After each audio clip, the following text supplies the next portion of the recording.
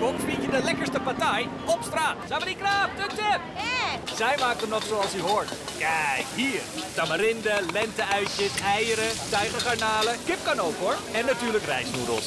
Zo, dat is met een partij lekker. Zelf streetfood maken is heel makkelijk. Met de nieuwe maaltijdpakketten van Codimax.